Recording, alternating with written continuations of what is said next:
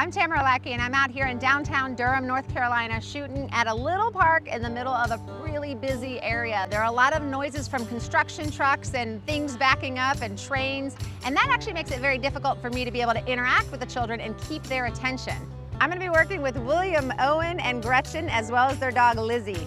Some of the challenges that I'm going to be facing are, in addition to the noise and distraction, are the fact that when you have three children, they have three different personalities, and you have to respond to each of them individually as well as a group.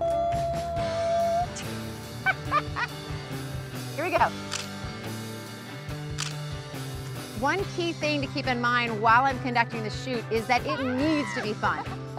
Very good. I'm using the Nikon D610 and the 24 to 70 millimeter f2.8 lens. I'm shooting dynamic, fast-moving subjects, so the D610 is perfect for that. It's a fast camera, it's lightweight, and allows me to get great photographs. My approach to this is I'm gonna start out with something relatively safe in that I'm not terribly worried about it being the perfect shot. I'm gonna have them running towards the lens, backlit, a lot of sun-washed flare kind of look, um, and that will get them warmed up and getting what appears to be kind of candid shots, although I do know that I'm going for something in the way of shooting from the hip, quite literally.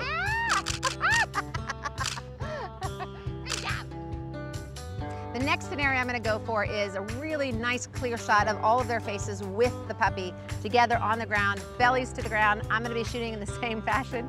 Oh, Lizzie loves you, Gretchen. In addition, I would love to be able to grab one portrait of a child and the puppy together in a fun, playful, interactive way. Okay, ready? Now you gotta hold your puppy.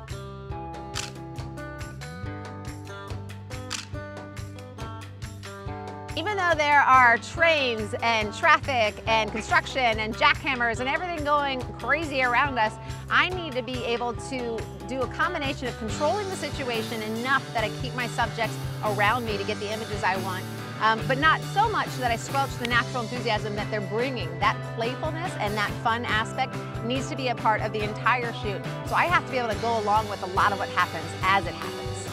You know the shoot is a success when you walk away with great images, a happy, playful group, and a pleasant exhaustion across the board.